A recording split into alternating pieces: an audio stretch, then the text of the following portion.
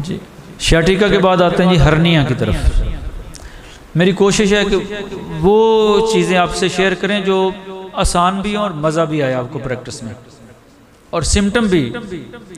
अच्छा हरनिया में पिछले कुछ चार, पाँच साल से ये तो नहीं कहना चाहिए सौ फ़ीसद, सच्ची बात है कि सौ फ़ीसद रिज़ल्ट हैं अब। शायद कोई एक आध कोई केस फंस जाए तो फंस जाए, वैसे अल्हम्दुलिल्लाह, कभी केस नहीं फंसा। और एक ही सवाल करके दवाई लिख देता हूँ, सिर्फ़ एक सवाल करता हूँ, दाई तरफ़ है, बाई तरफ़? हरनी दाई तरफ़ है तो लाई को देता हूँ, थर्टी में सुबह, दोपहर, शाम। बाई तरफ़ है तो नक्समी का देता हूँ, थर्टी में सुबह, दोपहर, शाम। आप सोचेंगे हम भी यही करते हैं, नहीं, इसके साथ आप इसे गलत कहें, ठीक है, मैं आर्निक और रेस्टॉक्स देता हूँ, टू में।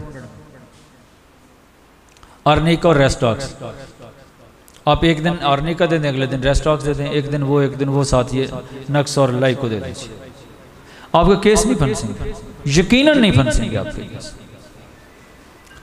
और आप मेरे लिए दुआ को रहेंगे हरनिया का केस नहीं आज के बाद फंसेगा आप और कमाल हो जाएगी। आप, अगर ज़्यादा मसला एक दिन में दोनों दे सकते हैं। जो साथी सिंगल प्रैक्टिस करते हैं, वो दो घंटे का वक्फा करके आर्नी का और रेस्टॉक्स का शाम के वक्त आर्नी का दे दें रात को रेस्टॉक्स दे दें। मगरब तक तीनों मुकम्मल कर दें डोजें नक्स की और उसकी। यकीन जानिए आपका केस हर नहीं का नहीं फंसे अच्छा मैं दो तीन मिनट और लूँगा, उसके बाद। पित्ते की पथरी के हवाले से बात करते हैं। मैं बात वो करूँ जो आसान भी और जिसके केस बहुत सारे होते हैं, जो हमारे पास जिसका आसान हाल है। और पित्ते की पथरी का केस भी बहुत फंसता है, मुझे भी अंदाज़ा है। मेरा केस भी फंसा करता था कभी, अब नहीं फंसता इनशाला एक तो आप जिस अंदाज की आपकी अपनी प्रैक्टिस है, उस अंदाज को नहीं छोड़िएगा। देखिए, हर साथी का अपनी कुर्सी पे बैठे हुए एक अपना तजर्बा होता है।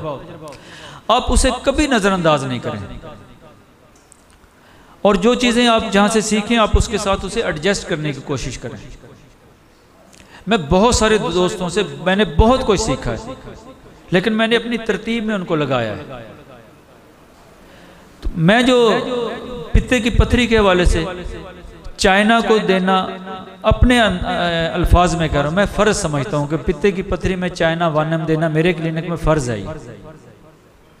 और अगर आप चाइना नहीं देते तो इसका मतलब यह है कि पित्ते की पथरी फिर बार बार फिर आप उसे एक मरतबा ठीक करेंगे, वो पानी बने